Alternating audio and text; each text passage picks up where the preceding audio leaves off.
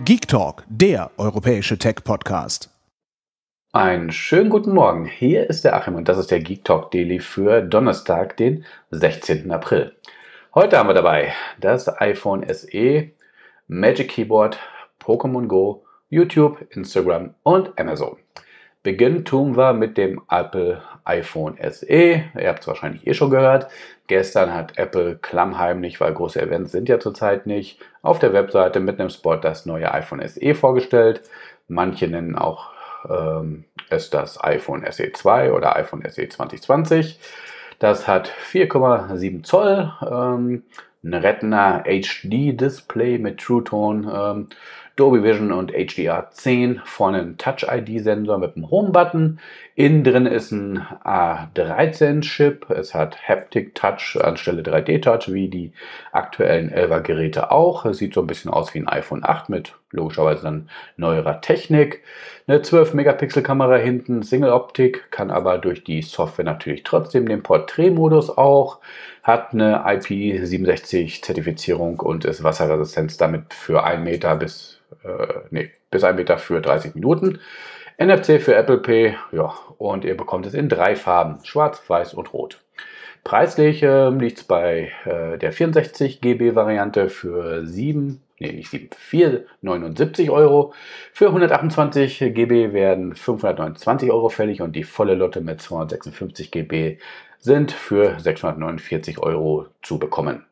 Das Ganze ist ab Freitag in den Apple Stores zu bestellen und wird den folgenden Freitag dann ausgeliefert, also der 24. April. Ja, könnt ihr euch äh, angucken und bestellen, wenn ihr wollt. Was ihr jetzt auch nämlich bestellen könnt und euch auch angucken könnt, wenn ihr wollt, ist das Magic Keyboard fürs iPad Pro. Das wurde ja vor ein paar Wochen zusammen mit den neuen iPad Pros vorgestellt. Das ist ein Keyboard, wo das iPad Pro da so ein bisschen drum schwebt, äh, fast wie ein vollwertiges MacBook Keyboard mit einem Touchpad, äh, mit einem USB-C-Anschluss, der durchgeschleift ist, mit dem ihr dann das Teil auch laden könnt, also auch das iPad Pro. Hintergrund beleuchtet, ähm, ja, was soll man dazu sagen? Ähm, kompatibel auch mit ähm, ein paar älteren Versionen des iPad Pros, zum Beispiel mit ja, der letztjährigen Version.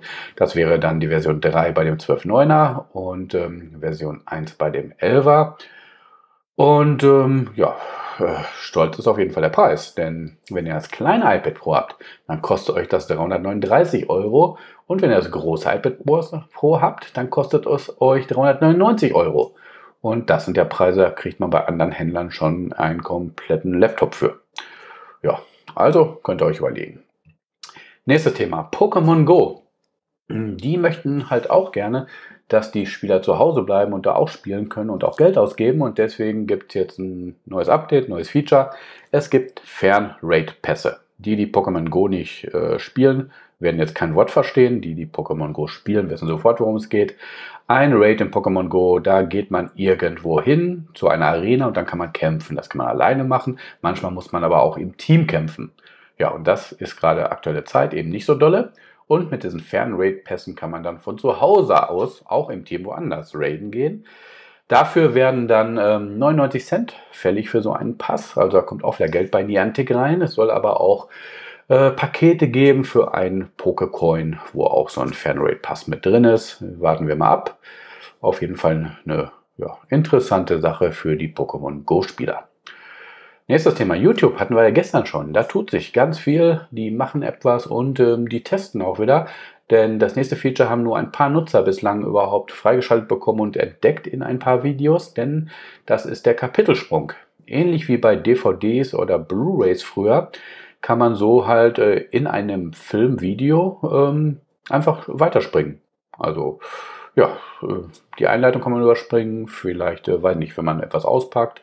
Wie auch immer, das ist wahrscheinlich dem Creator überlassen, der das Video entsprechend dann halt auch vorbereitet, wenn er es hochlädt. Ja, wie gesagt, die Funktion ist noch nicht breit ausgerollt, wird anscheinend erstmal nur getestet, wird mich aber nicht wundern, wenn wir die auch demnächst irgendwo mal sehen. Nächstes Thema Instagram hatten wir auch. Also da tut sich auch viel. Die haben jetzt in Amerika eine Funktion eingeführt, wo man in einer Instagram-Story einen Sticker hinzufügt, mit dem bei einem Restaurant äh, Essen oder einen Gutschein bestellt werden kann. Dafür äh, haben sie den Partner ShowNow gewählt. Das ist eine Order-Plattform für Restaurants. Die wickeln halt praktisch den ganzen ähm, online ähm, hin und her Zeugs, Krimskrams ab, um die Bestellung rüberzureichen und übergeben es dann an einen Lieferdienst, wenn nicht der Restaurantkoch oder sonst wer selber liefern möchte. Schöne Sache, weil gerade den Restaurants geht es ja, also generell der Gastronomie in der aktuellen Zeit nicht so tolle. Ähm, ich glaube, das werden wir in Deutschland nicht sehen, dieses Feature, denn hier haben wir ja eh nur Lieferando. Ja, die sind jetzt auch eh so nicht der Brüller und ähm, ich glaube, ja, die sind da auch unfähig zu, die können auch niemals ihre eigene ja, App vernünftig irgendwie machen. Aber das ist eine andere Geschichte. Deswegen ab zum letzten Thema für heute, Amazon. Die müssen in Frankreich ihre Warenhäuser, Warenlager erstmal schließen temporär. Ähm, dafür gab es ein Gerichtsurteil, das hat die dazu verknackt. Sie dürfen zurzeit auch nur essentielle Produkte ausliefern, was auch immer das heißt. Wahrscheinlich Sachen, die man zum Überleben braucht und eben nicht, weil sie nicht das neueste Call of Duty äh, meinetwegen. Ja, und worum geht es? Es geht darum, dass weil so viele online bestellen, Amazon ja ganz viele neue Worker eingestellt hat und ähm, ja, dass ähm, da jetzt Bedenken sind, dass da nicht sichergestellt ist, dass äh, Kontakt äh, passiert und dann der Virus äh, sich ausbreiten kann. Das muss jetzt erstmal gescheckt werden. Amazon hat dafür dann jetzt erstmal bis äh, zum 20. Zeit und dann schauen wir mal weiter, was das Gericht in Frankreich so sagt. So, und das war's dann auch schon für heute. Ich wünsche euch jedenfalls einen großartigen Donnerstag. Ähm, Bleibt gesund, bleibt positiv und ich hoffe, wir hören uns nochmal zum Ende der Woche hier bei uns im Geek Talk Daily. Ciao, ciao. Hört mehr Geek Talk.